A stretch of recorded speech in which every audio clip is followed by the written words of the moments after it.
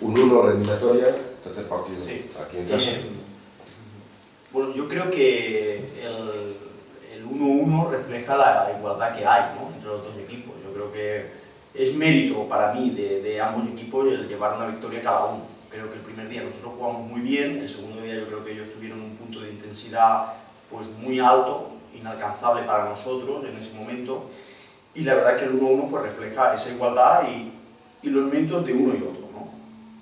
Así que, bueno, llegamos aquí a nuestro campo con este 1-1, sabemos que tenemos la opción de, de poder vencer en el playoff si ganamos los dos partidos y los afrontamos pues con muchísima ilusión. Dijo ahí donde estás tu sentado Jareño en el último partido de Liga, cuando le preguntamos por la eliminatoria, que la había tan igualada que estaba convencido que iba un partido. Bueno, pues si es porque nosotros ganamos el tercero, ojalá se equivoque. Si es porque nosotros perdamos, pues ojalá acierte, ¿no? Eh, lo que sí es verdad, y eso es cierto lo que dice el compañero, y, yo mismo lo decía, ¿no? que después de haber jugado 26 partidos, la diferencia entre el clavijo y nosotros es de un solo partido a favor de ellos. ¿no? Y, y el playoff se ha visto ¿no? que pues cuando ellos juegan a, a su máximo nivel nos ganan y cuando nosotros jugamos a, su a nuestro máximo nivel pues les ganamos, ¿no? Pero está claro que mantener esa regularidad por parte de uno o de otro es muy difícil, ¿no? Porque si no, no hubiésemos sido equipos que han estado abajo en la clasificación, ¿no? Así que sí, es cierto que hay bastante igualdad y, y, bueno, nosotros vamos a intentar pues tener argumentos baloncestísticos, ¿no? Es decir, yo creo que llegados a este punto somos muy dados a solamente pues creer que por el hecho de jugar en casa o por el hecho de tener a la afición a nuestro lado, pues con eso solo se va a ganar. Y yo creo que no. Es decir, yo creo que esos son factores que hay que tener a favor y que es muy bueno tenerlos, pero que hay que jugar bien al baloncesto para poder vencer. Y por ahí pasan nuestras opciones. Por argumentar baloncestísticamente con coherencia el, el juego e intentar jugar bien para ganar. Esa es la clave. ¿Has sacado alguna conclusión después de estos dos partidos? ¿O sigue siendo la misma tónica de que va a ser un partido súper igualado? No, no, hombre, claro que hay conclusiones, ¿no? Es decir, yo creo que ellos, pues es evidente que, que son un equipo que defensivamente seguro que todavía tendrán a- a algo por sacar, ¿no? A nivel defensivo, tendrán as guardado que pondrán quizá en práctica aquí. Después, a nivel de ataque, es un equipo que, como ya dije, tiene muchísimas opciones en el ataque posicional, tiene muchas variantes ofensivas en el 5 contra 5 y, bueno, está claro que, pues, que ellos han conseguido en el segundo partido tener un ritmo de juego muy bueno y una intensidad defensiva muy buena, ¿no? Y nosotros lo conseguimos todo eso en el primero. Bueno, eh, yo creo que todavía puede haber alguna sorpresa por parte de, de ellos hacia nosotros y nosotros intentaremos pues parecernos al equipo del primer día. Esa es la conclusión que yo creo que tenemos que tener todos claro, ¿no? Si nos parecemos al equipo del primer día, nuestras opciones de victoria crecerán y si nos parecemos al equipo del segundo día, pues nuestras opciones serán cero. Eh, hablas de, igualdad.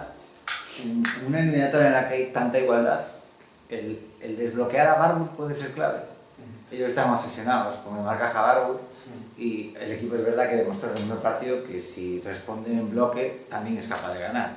Pero en una eliminatoria tan clave, pues un jugador como este es diferente. Es decir, puede, puede marcar diferencia. Bueno, yo creo que es muy diferente para mí el primer del segundo partido. Es decir, yo creo que el primer partido eh, Barco jugó bien, lo que pasa es que no anotó. Pero digamos que eh, la focalización defensiva del rival sobre, sobre él generó muchísimos espacios para otros jugadores. Pero en el, en el segundo partido, eh, en el segundo partido ellos eh, consiguieron con menos focalización defenderle todavía mejor. Quizás porque él se desesperó de ver que ya habían pasado pues un partido y pico sin poder recibir el balón. Entonces yo creo que en el tema de Barbull lo más importante es su dureza mental. La, la- la fortaleza psicológica que él tenga para darse cuenta de que le defienden pues muy agresivo, ¿no?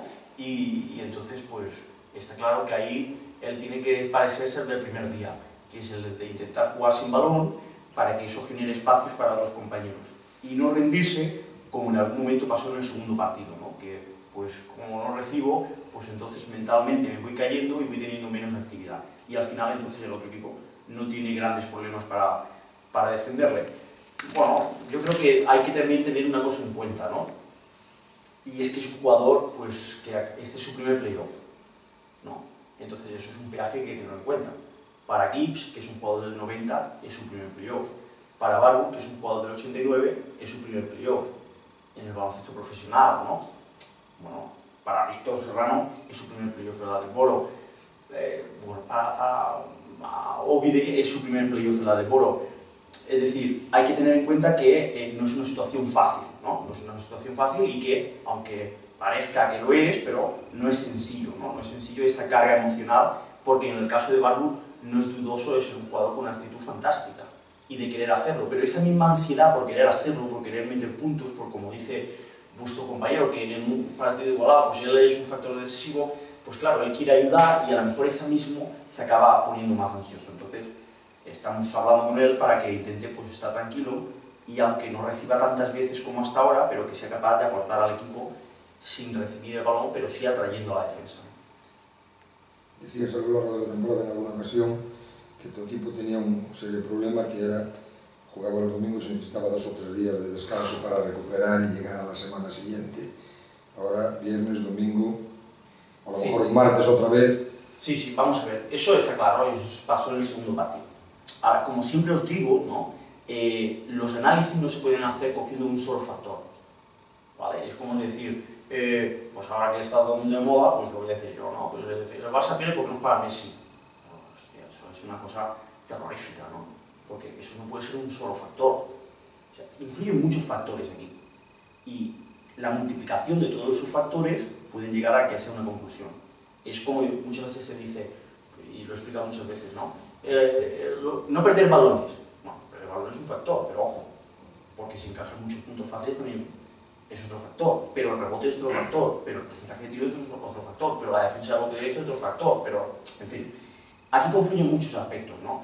El tema que tú dices es un factor, sin duda, y de cara, y el segundo día se notó, que no perdimos solo por eso, o sea, que yo creo que el segundo día estuvimos muy por debajo en ellos, en intensidad física, en intensidad defensiva, incluso en actitud mental, en agresividad, en, lectura del juego, en 20.000 factores, ¿no? Y además no todo el partido, porque un momento de cuando sí tuvimos actitud, lo que nos faltó fue clarividencia. Porque cuando hubo un momento que, nos apretamos y que nos pusimos ahí eh, a 10 puntos otra vez, ahí ya no nos faltó actitud. La, la actitud, la, la garra, la intensidad nos faltó en otro momento. Influyen muchas cosas en esto y no se puede coger solamente un factor y elevarlo a la categoría de, de- de ciencia y decir, se ha perdido por esto. Esto no, no es así. Aquí influyen 20 factores. Pero ese que tú dices es un factor. Y lo tuvimos en contra en el segundo partido. Está claro que, pues, por el tema de Julio González, fundamentalmente, aparte de por otros jugadores, pero por el tema de Julio González, está claro. Julio González, el primer partido, como lo preparamos, digamos, como un partido normal, ¿no? De, de liga, pues fuimos con unas cargas adecuadas para ese primer partido del viernes, pues se notó que aquello, que yo se lo decía a los jugadores, ¿no? Pa- parezco hasta mejor entrenador y todo, ¿no? porque fue una cosa preciosa, ¿no? El segundo día, cuidado, porque ese jugador, por ejemplo, ya no estaba. Entonces, claro, eso, eso es un problema. Eso es el factor que tú dices, es un problema, lo tenemos en contra.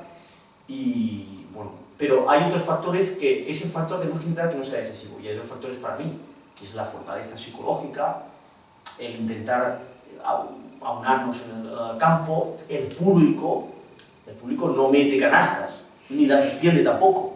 Pero está claro que a cada equipo le da un plus. Entonces ese plus lo podemos tener a favor. Pues eso es un aliento. Así que estoy de acuerdo contigo, eso es un hándicap, por el tema de Julio fundamentalmente, por el tema de algún otro también, en las recuperaciones, pero creo que, aunque sea un aspecto negativo, se puede intentar camuflar con otros factores si somos capaces de hacerlo positivo.